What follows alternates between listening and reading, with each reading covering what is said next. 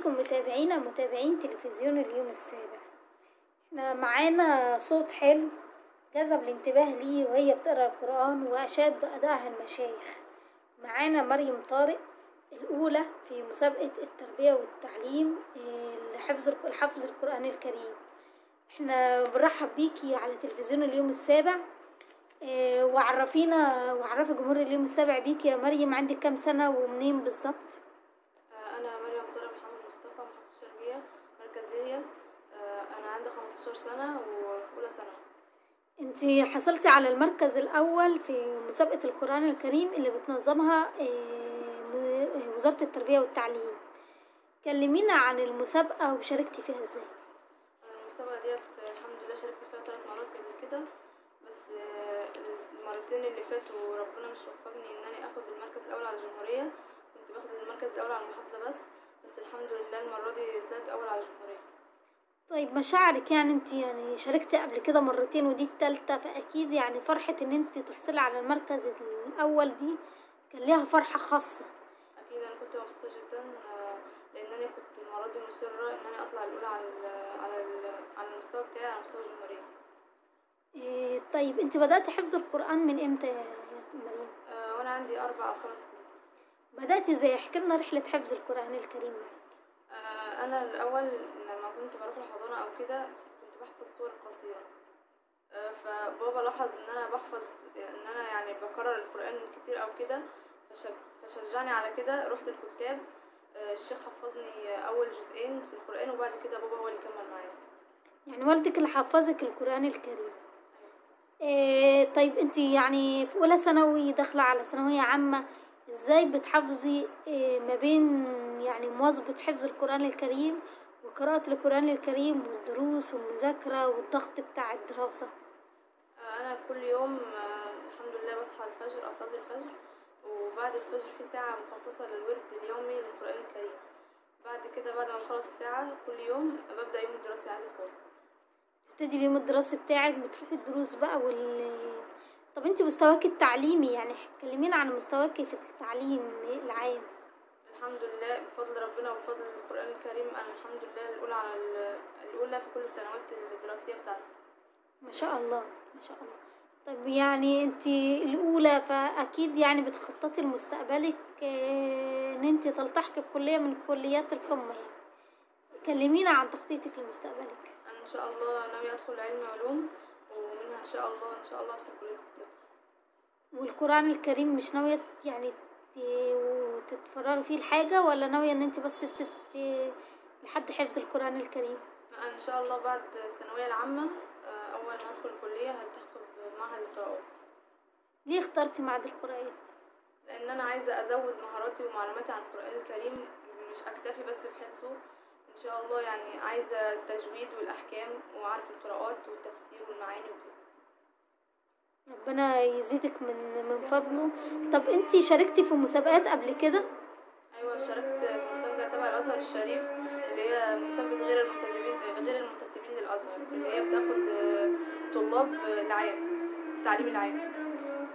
حصلتي فيه على مسابقات قبل كده؟ آه، مراكز قبل كده اسف أيوه حصلت على المركز الأول فيها طب ومسابقات إيه اللي أنت شاركتي فيها؟ في مسابقات تانية بس تبع جمعيات خيرية زي مسابقة أم السعد اللي هي في الزقازيق ديت حصلت فيها على المركز الأول هنا على المحافظة بس حصلتش على المركز على الجمهورية يعني بعد مسابقة التربية والتعليم بتفكري إن انت تشتركي في مسابقات تانية مثلا آه، تكون من المسابقات آه، ال- العالمية والمسابقات ال- اللي بتنافس على مستوى الجمهورية؟ في مسابقة معينة يعني بت- بتفكري إن انت تقدمي فيها؟ آه، في مسابقة تبع رابطة العالم الإسلامي أنا دخلت فيها مرة قبل كده. ودخلت تصفيات بس برضو ربنا مش وفقني يعني إن أنا أطلع على الجمهورية أو كده. انت يعني بتخططي إن أنت إن شاء الله تواظبي على المسابقات. طيب يعني القرآن دايما بيدي للإنسان بركة في حياته. احكي لنا كده عن بركة في حياتك في القرآن الكريم. آه، الحمد لله بفضل بفضل ربنا وفضل القرآن. أنا الحمد لله إخواتي حافظين القرآن برضو. آه، وده مدينا بركة في حياتنا مدينا بركة في الوقت. آه، أنا وإخواتي الحمد لله متفوقين في دراستنا بنطلع الأوائل آه، كل سنة الحمد لله. و والحمد لله القرآن بسبب بركته مدينا سعادة آه، يعني حياتنا سعيدة الحمد لله مفيش أي مشاكل مفيش أي ضغوطات. والحمد لله على إحنا برحب بيك على تلفزيون اليوم السابع. أهلا بيكي أهلا بيكي تعرفنا الأول بنفسك. أنا طارق محمد مصطفى أبو العزم من خلوة دبوس مركزية الشرقية. طيب آه، لو تكلمنا يعني مريم كانت بتقول إن أنت اللي حفظتها القرآن الكريم. أنت حضرتك آه، بتشتغل موظف عادي مش آه، فإزاي يعني يعني حضرتك شخص عادي تعليم عام وموظف عادي قدرت إن أنت تحفظ أولادك القرآن الكريم؟ والله أنا من بداية وأنا في الدراسة وأنا صغير يعني صغير كده كنت بحب القرآن جدا. أي سورة باخدها كنت بحفظها مباشرة يعني.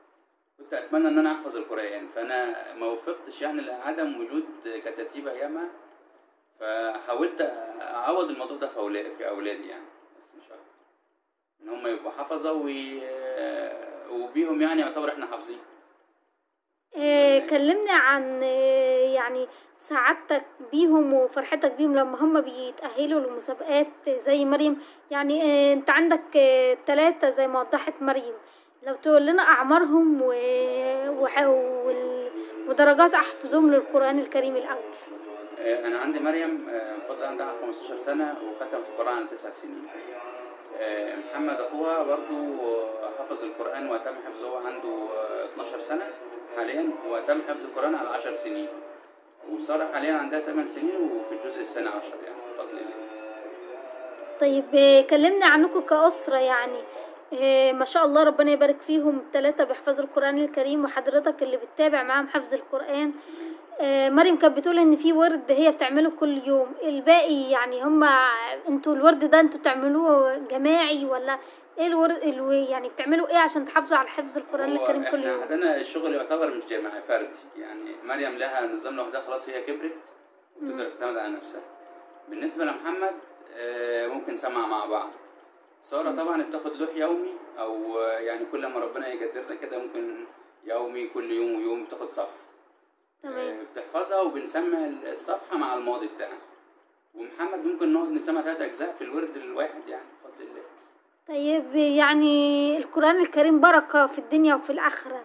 لو تكلمنا على بركة الدنيا معاكم كأسرة والله إحنا اتمسكنا بالقرآن بفضل الله سبحانه وتعالى وحديث النبي صلى الله عليه وسلم يعني حسنا إن إحنا نتمسك بيه أكتر. لأن النبي صلى الله عليه وسلم قال من أراد الدنيا فعليه بالقرآن ومن أراد الآخرة فعليه بالقرآن ومن أرادهما معا فعليه بالقرآن. القرآن هو سعادة الدنيا وسعادة الآخرة وسعادة الاثنين مع بعض زي ما النبي صلى الله عليه وسلم يعني. الحمد لله. يعني وإحنا البركة في البيت موجودة. إحنا مش حاسين مش عارفين البركة دي جاية منين. يعني كل حاجة الحمد لله موجودة وال ما فيش يعني الحمد لله مش بنحس بأي ضائقة يعني والأمور متيسرة بفضل الله علينا يعني الحمد لله. يا رب دايما. طيب إحنا لو حبينا إن إحنا نسمع حاجة كده من القرآن الكريم بصوت مريم لو تديها المايك تسمعنا آه يعني بصوتك كده عايزين جمهور اليوم السامع تسمعي صوتك كده وأنت بتقرأ بتقرأي القرآن الكريم. أعوذ بالله من الشيطان الرجيم. بسم الله الرحمن الرحيم. لو أنزلنا هذا القرآن على جبل لرأيته خاشعا متصدعا من خشية الله. وتلك الأمثال نضربها للناس لعلهم يتفكرون. هو الله الذي لا إله إلا هو عالم الغيب والشهادة. هو الرحمن الرحيم. هو الله الذي لا